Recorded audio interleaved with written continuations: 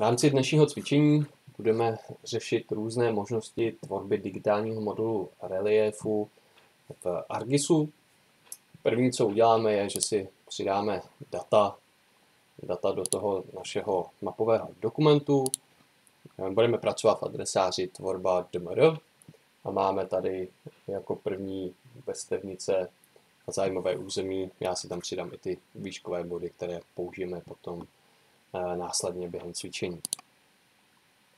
První, na co upozorním, akorát si je tady, tady vypnu, aby ty vrstvy se mi nezobrazovaly. První, na co upozorním, je, že budeme eh, používat nástroje z Toolboxu 3D Analyst a ten je třeba mít eh, aktivovaný v rámci rozšíření v záložce Customize Extensions.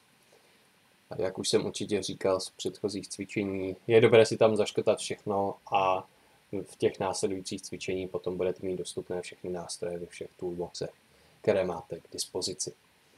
Nicméně dneska budeme používat 3D Analyst, tak ten já mám zaškrtnut, takže můžu používat nástroje z tohoto toolboxu.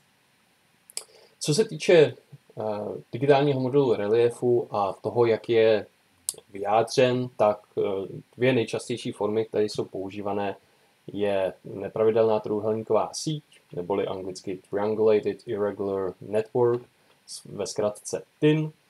A, a druhá možnost eh, toho vyjádření, tam jako nejčastější spolu s TINem, je grid, neboli mříž, jinými slovy rastr obsahující boňky, eh, v jejichž eh, hodnotách najdete nadmořskou výšku toho daného digitálního modelu reliefu. My začneme tím tinem, eh, vytvoříme si eh, nepravidelnou trojuhelníkovou síť, která bude reprezentovat povrch jako soubor trojuhelníků, které jsou samozřejmě definovány třemi body v prostoru a ty trojuhelníky na sebe navazují, uchovávají si topologické vztahy.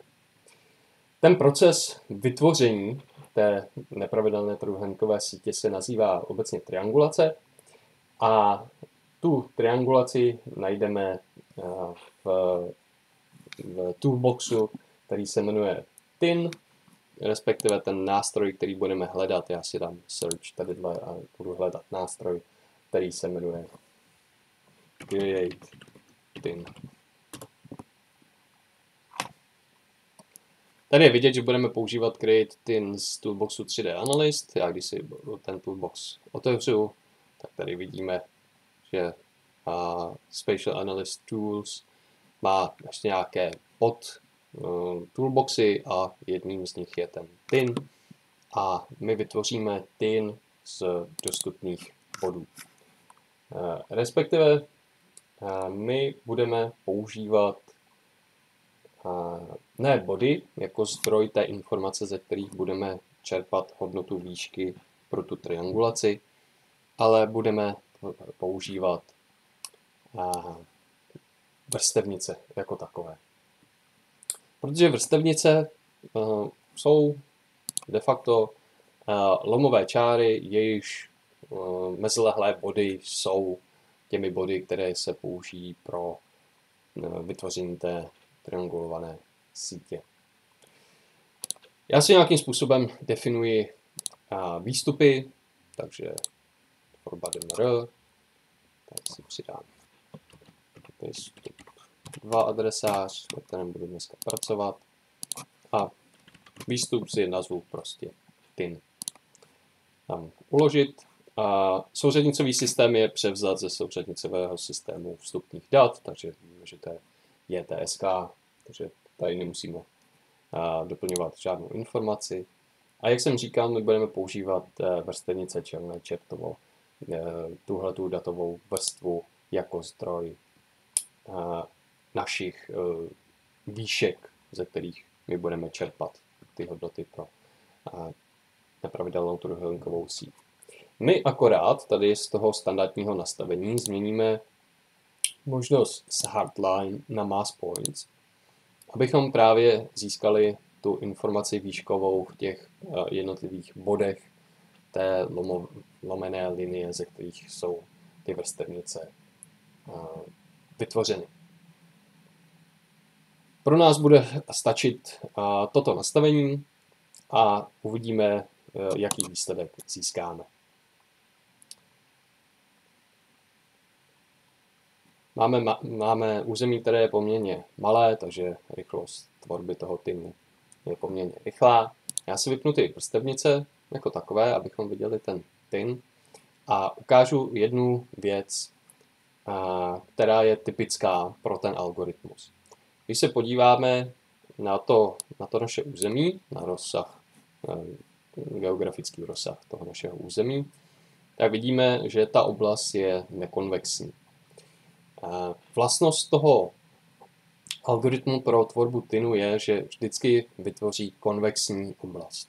Což znamená, že pro tu konvexní oblast platí to, že když máte dva body v té oblasti, jakékoliv dva libovolné, a spojíte je, tak vždycky ta spojnice leží uvnitř té dané konvexní oblasti.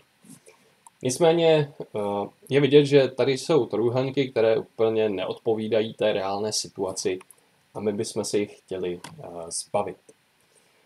Eh, k tomu můžeme použít nástroj, který se jmenuje ne CreateTin, ale EditTin.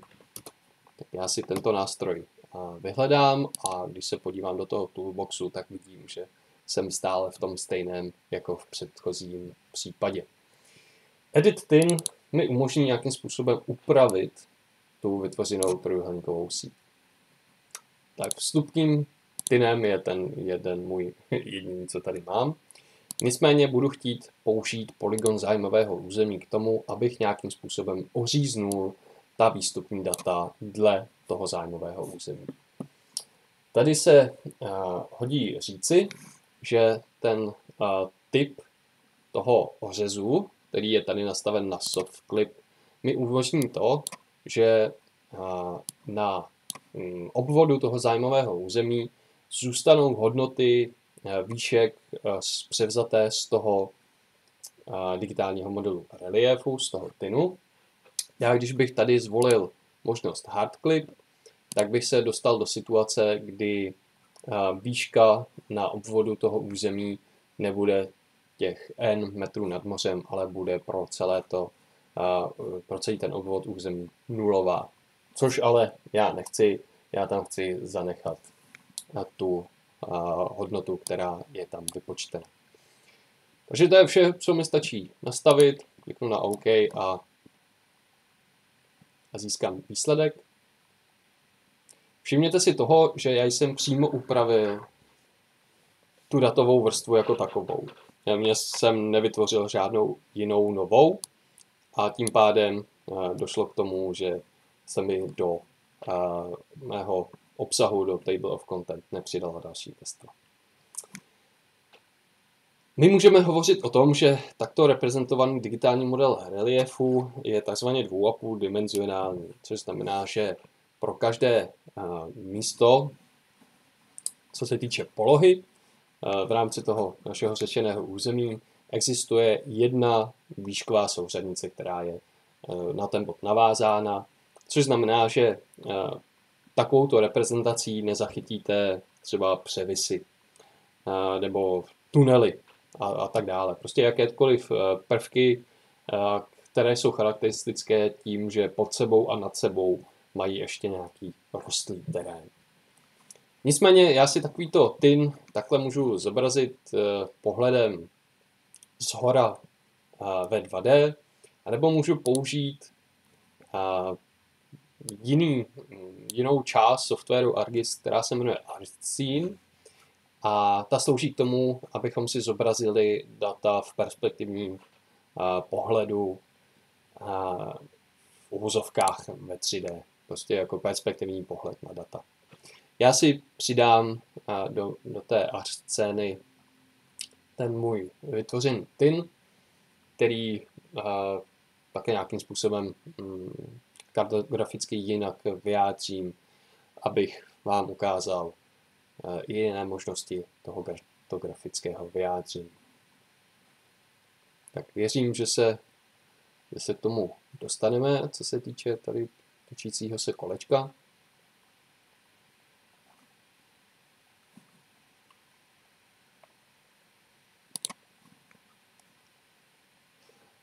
Já jsem si Artscenu zapnul tak, že jsem na, kliknul na start a napsal jsem ArtCS.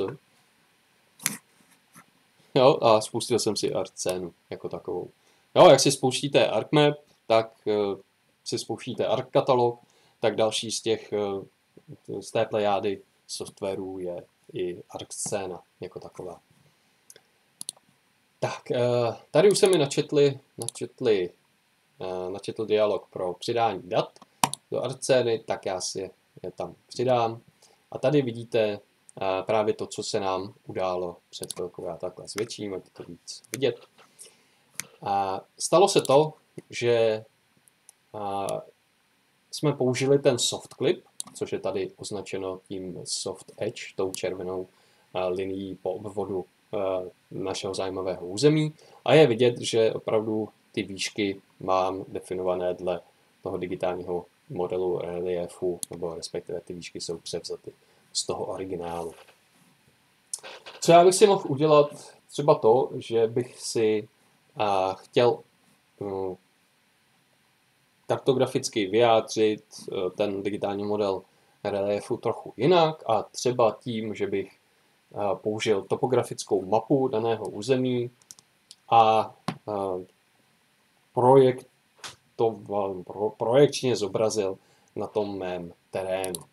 Jak na to ve vlastnostech toho tinu jako takového, respektive té datové vrstvy, kterou já mám tady přidanou do, do arcény,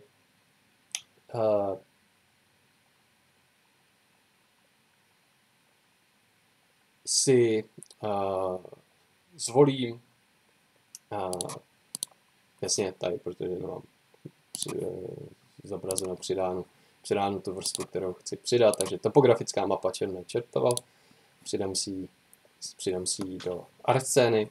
A tady další věc, na kterou chci upozornit, je to, že ta mapa jako taková leží v eh, nulové nadmořské hladině.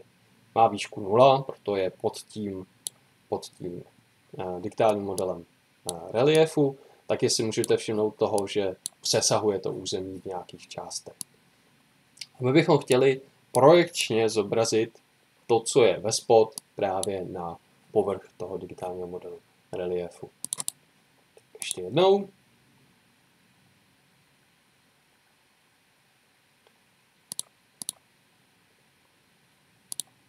Tak. Uh... Jo, jasně.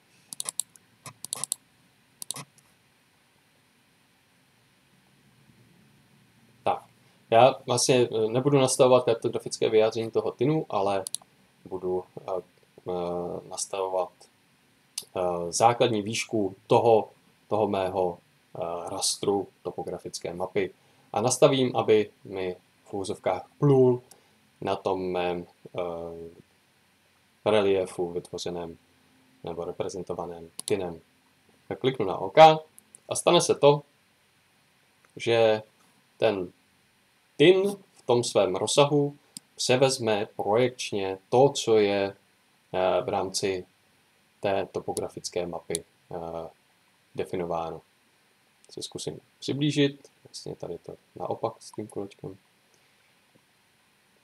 Tak. ale když zkusím se podívat na ten digitální model terénu, tak vidíte, že už nejde o placku, ale že opravdu převzal to grafik, kartografické vyjádření z té topografické mapy, která leží pod ním. Tak, to je ukázka další kartografické reprezentace digitálního modelu reliefu za použití uh, nějakého v našem případě rastru, který je projekčně, projektivně zobrazen na na digitální modelu reliefu. Já si Arcenu pro tuto chvíli vypnu a budu pracovat dále v tom mém uh, mapovém dokumentu v ArtMapu. My se od Tinu teďka uh, posuneme ke gridu, neboli česky dle terminologie řečeno mříži, uh, kdy ten digitální model reliefu je reprezentován jako raster kde hodnota buňky odpovídá nadmořské výšce v tom daném místě nebo respektive v rozsahu té buňky. A my využijeme toho, co už jsme si vytvořili, my te, tu reprezentaci pomocí mříže vytvoříme na základě toho vytvořeného digitálního modelu reliefu reprezentovaného jako TIN. My tedy budeme nějakým způsobem provádět konverzi těch dat. Takže když se podívám na ten nástroj, který já chci použít, tak nástroj se jmenuje Tintu Raster. A když si ho vyhledám, tak se podívám zase do toho toolboxu a tady je přesně vidět, že provedeme tu konverzi z tinu do rastru, do, toho, eh, do té mříže reprezentované eh, rastrem, pravidelným rastrem. Takže vstupní tin bude ten můj jediný, který já tady mám. A výstupní rastr bude MR, grid třeba. A e, nastavím tady jednu věc a to je velikost buňky, kterou já pro ten raster budu chtít vytvořit. Tady je cell size napsáno 51, mně stačí přepsat tu 51 na desítku. A když byste přepsali celou, celou uh, tu hodnotu této sampling distance, tak dostanete chybovou hlášku, takže je tam třeba nechat to klíčové slovo cell size a přepsat jenom tu 51 na desítku. Takže já spustím tento nástroj a vytvoří se mi ta mříž, která reprezentuje ten digitální model eh, reliefu s velikostí buňky 10, 10 na 10 metrů. Můžeme si zkusit eh, pomocí nástrojů Identify eh, zjistit výšky v jednotlivých, jednotlivých pixelech. Si takhle ukotvím to Identify, jak to vyskakuje vpravo. A ta hodnota je nějakým způsobem eh, interpolovaná do rozsahu té buďky na základě těch hodnot, které byly uvedeny v té nepravidelné trojuhelníkové síti. Takže někdy jsou celými, celými hodnotami, někdy, někdy jsou takové to desetiná čísla v rámci hodnot výšky v jednotlivých buňkách. Další možnost, jak vytvořit, vytvořit takovýto uh, grid, nebo takový, takovýto raster reprezentující digitální model reliefu, je uh, možnost uh, přímé interpolace digitálního modelu reliefu ze vstupních bodů. A teď právě přijdou na řadu ty výškové body černé čertovo. Kdybyste se podívali na to, kde ty body jsou, tak budou přesně odpovídat těm lobovým bodům těch jednotlivých vrstevnic, které jsou tady k dispozici. Nicméně my použijeme ty body, které nám reprezentují množinu výškových bodů. Já se takhle přiblížím, ať jsou trochu vidět lépe množinu bodů, které my chceme použít pro tvorbu toho rastru a pro tvorbu toho rastru použijeme metodu nebo metody, které jsou založené na interpolaci. Takhle jsou nazvané ty metody, které nějakým způsobem hm, matematicky definují mezilehlé hodnoty mezi těmi hodnotami, které jsou známé. Jo, potřebujeme dostat hodnotu nejenom tam, kde jsou ty body ve vysoké hustotě kolem sebe, ale i ty hodnoty, které jsou mezi nimi. A právě ta metoda se jmenuje interpolace a těch metod interpolací je celá řada. Já když se podívám do toolboxu jako takového, tak na ty interpolační metody máme celý, celý uh, toolbox. Akorát teďka už eh, nevyužijeme toolbox z 3D analystu, ale budeme používat uh, Spatial Analyst a tadyhle je toolbox, který se jmenuje Interpolation. A tady je celá řada interpolačních metod, které lze využít pro tvorbu eh, digitálního modelu reliefu v rastrové podobě na základě nějaké interpolační metody. Prvním, co tady máme za interpolační metodu, je metoda eh, IDV, neboli metoda eh, inverzní vážené vzdálenosti, která má tu vlastnost, že hodnota mezilehlých buněk, když se vypočítává pro raster, tak je ovlivněna spíše hodnotami bodů, které jsou blíže k té dané buňce, než těmi body, které jsou vzdálené od té buňky. Nicméně nastavení toho nástroje bude následující. Výškové body černé čertovo, to je poměrně jasné, že budeme interpolovat přímo z těch výškových bodů. Uložím si rastr jako DMR IDV třeba. Tady upozorním na to, že název rastru má mít maximálně 13 znaků, tak tomu uspůsobte i pojmenování toho vašeho výstupu. Abych mohl mezi sebou, když tak nějakým způsobem porovnávat ty modely reliefu, které si vytvořím, tak definuji, že mají stejnou velikost buněk. V tomto případě už se jedná o číslo, takže mi stačí zadat tu desítku, nemusím tam psát to cell size. A tady power nechám na, na dvojce, což znamená, že ta um, váha nebo ten vliv těch jednotlivých bodů mezi sebou klesá s kvadrátem jejich vzdálenosti. Kliknu na OK a nechám provést výpočet. A mezi tím,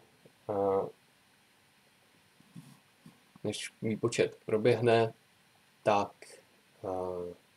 jenom doplním, že těch metod si ukážeme více. V té opoře máte, um, máte nástroj, co se jmenuje Topotu Raster, což vám vytvoří hydrologicky korektní ten digitální model reliefu, protože když se počítá ten digitální model reliefu, tak se může stát, že díky tomu algoritmu dojde k nějakým hm, fúzovkách nepřesnostem, které, které vám hm, v tom modelu udělají z pohledu hydrologie nějakou v úzovkách botu, nějakou chybu, což znamená, že by mohlo dojít k tomu, že najednou řeka nebude odtékat e, nebo něco takového. Teď se nám vytvořil digitální model e, reliefu pomocí té interpolační metody IDV. E, je to zase rastrová podoba, tady je nějakým způsobem symbolizována na základě těchto 2, 4, 6, 8, 9 kategorií.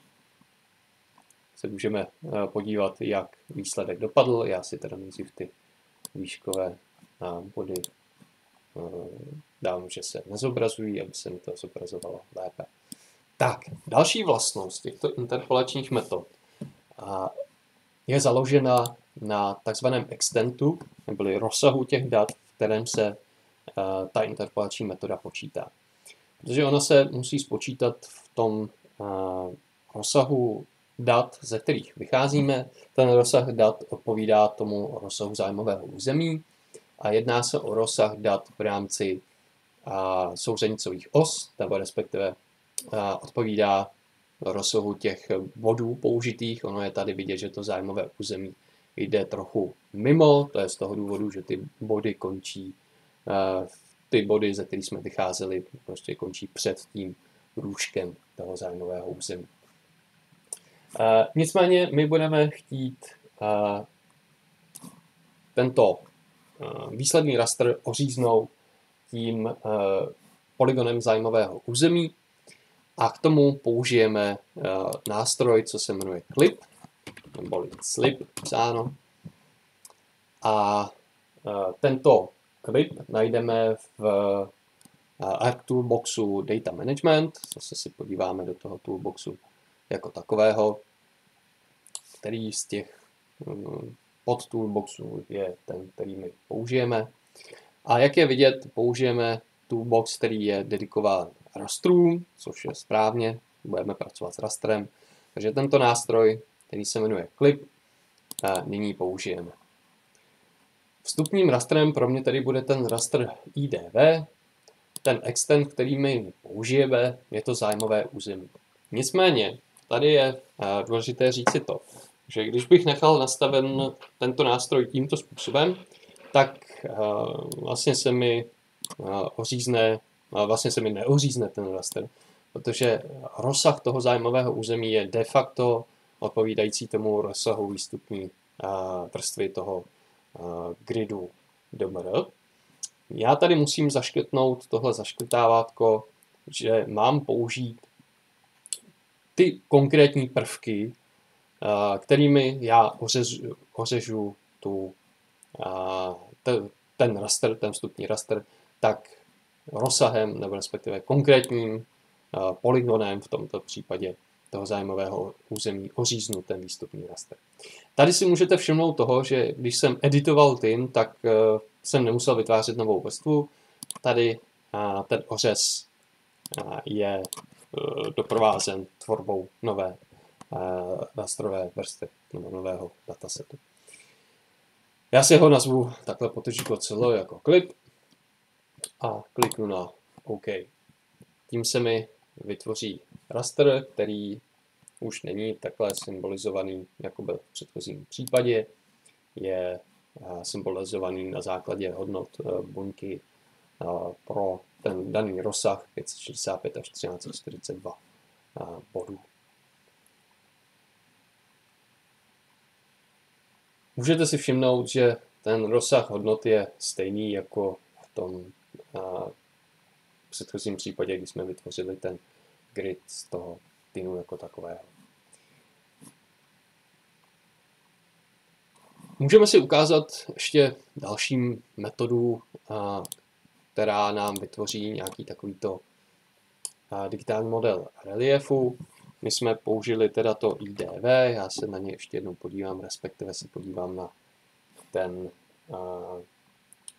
ten toolbox, který byl použit v Spatial Analystu. Dám tomu zase chvilku, ať mi ho najde. A v rámci toho toolboxu pro interpolaci si ukážeme třeba ten nástroj Spline, který zase bude fungovat úplně stejně jako ten IDV, co se týče nastavení ale místo IDV bude nazván ten rastr jako SPL, spline, taká velikostník 10. Nechám provést interpolaci.